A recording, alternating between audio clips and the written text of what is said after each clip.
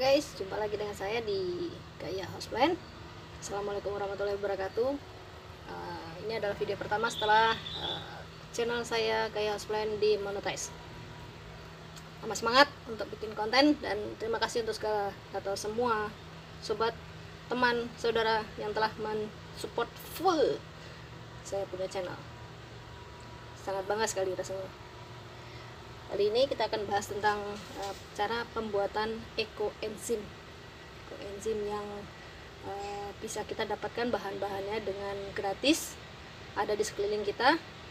Daripada dibuang menjadi limbah di tempat sampah tidak digunakan, maka kita coba untuk bikin menjadi uh, sesuatu yang berguna, bermanfaat buat kesehari-harian kita. Ya, langsung aja kita praktekkan ya. Dan uh, ini mulai saya bikin semenjak saya mengikuti ini ya guys. Ya, nih ekoenzim ini saya dapatkan dari uh, beberapa waktu lalu saya mengikuti rapat di kelurahan ya. Seperti ini. Oke. Nah uh, ini adalah makalah tentang ekoenzim dan kita akan coba untuk praktekkan. Ekoenzim adalah cairan alami dari fermentasi tiga bagian kulit buah satu bagian molase atau gula merah atau bisa juga dengan gula pasir ya sob cuman kan mahal gula pasir. Jadi kita pakai yang murah aja. 10 bagian air oke? Kita praktekkan. Jus. Ini sob bahan pertama. Kita ambil dari pohon belimbing yang ada di kebun sebelah rumah. Nih tiap hari berbuah tidak pernah berhenti. Salah satunya ya dikasih pupuk organik cair yang sudah pernah kami buatkan videonya dicampur jakaba dan PSB kemudian dikocor ya sistem kocor di pohonnya maka tuh buahnya tidak pernah berhenti selalu berbuah. Nah sekarang kita akan bikin menjadi uh, ya sob blimbing menjadi ekoenzim. Oh itu juga ada tuh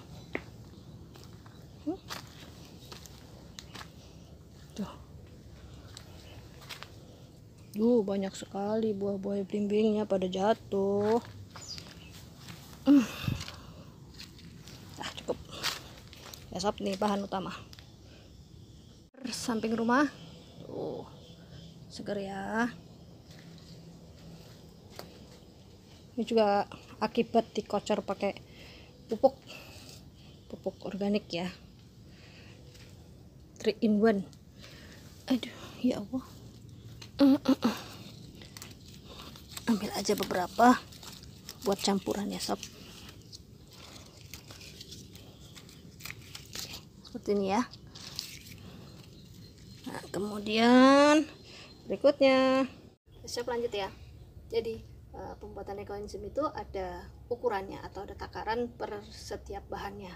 Nah, seperti yang uh, saya dapatkan bahannya seperti ini ya.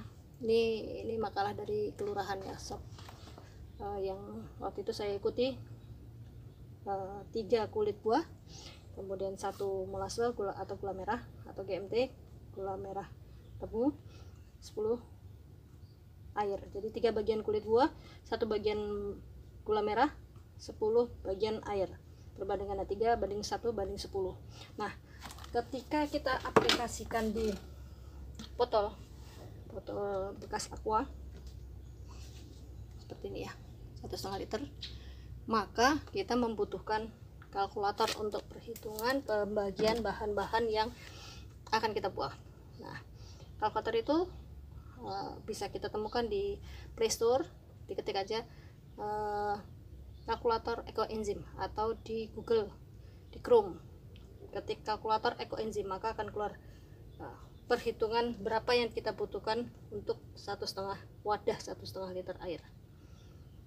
Seperti ini wadahnya. Nanti akan keluar dibutuhkan air dengan takaran 0,6 sepertinya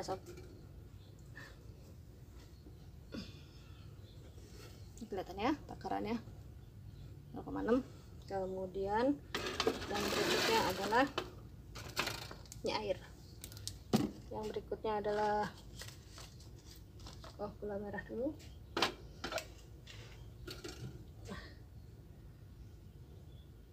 Gula merahnya butuhnya 0,06 seperti ini sob.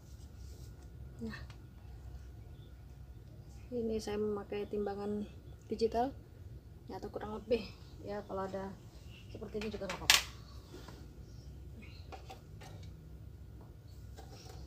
timbangannya 0,6 ya. Oke. Nggak mesti sama persis nggak apa-apa ya. Sob kemudian yang berikutnya adalah uh, ini ini adalah dibutuhkan 0,18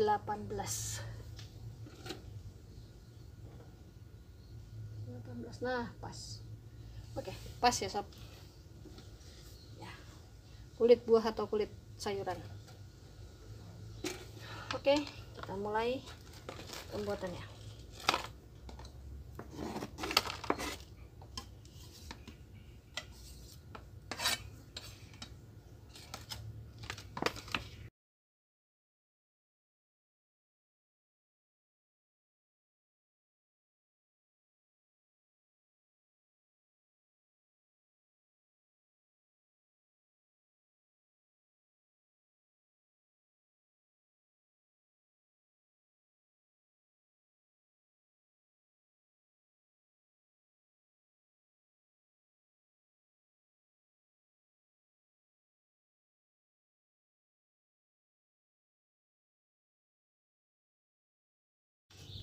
Oke, okay, sob lanjut ya. Setelah kita campurkan bahan-bahan tersebut, satu eh, 10 bagian air, eh, tiga, tiga bagian kulit buah, ya kulit buah atau buahnya ini kita ambil buah belimbing.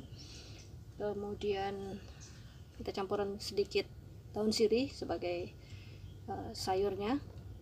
Kemudian uh, gula merah, gula merahnya satu bagian. Jadi tiga banding satu 3 banding 1 banding 10 nah seperti ini ekoenzim yang sudah diproduksi ini tanggal 6 bulan 1 tahun 2022 nah ini bahan dasarnya adalah molase.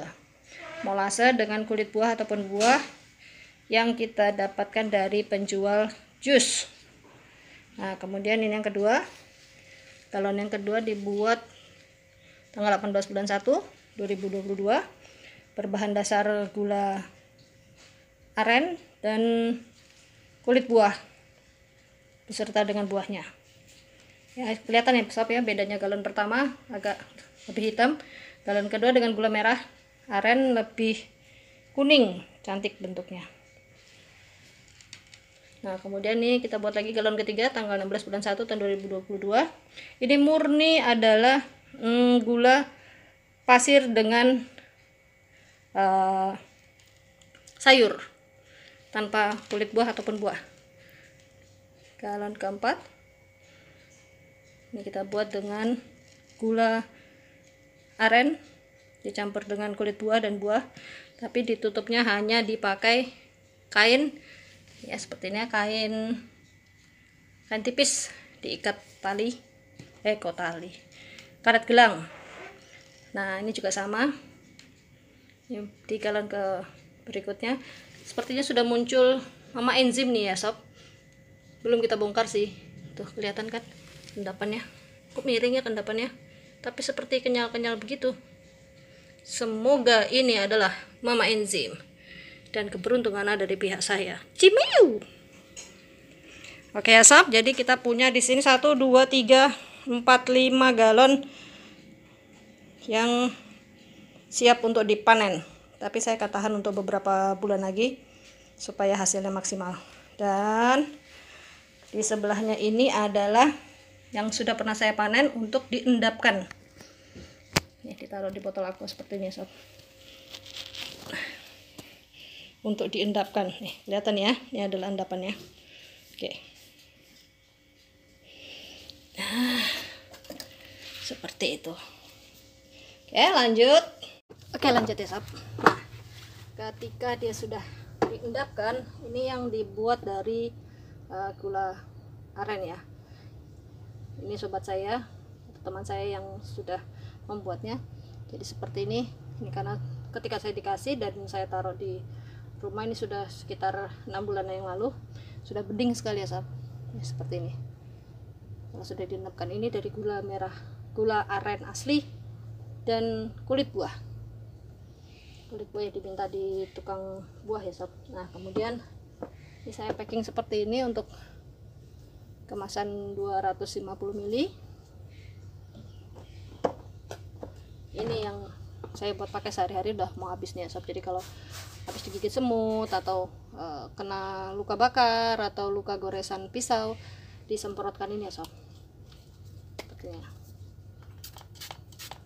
Yes. atau gatal-gatal itu bisa dipakai sob. Nah, botol kosong untuk kita produksi uh, penjualan. Jadi seperti itu sob. Uh, video kali ini tentang pembuatan ekoenzim ala emak-emak rumahan. Silahkan dicoba. Sampai ketemu lagi di video menarik selanjutnya. Salam sehat. Wassalamualaikum warahmatullahi wabarakatuh. Tetap semangat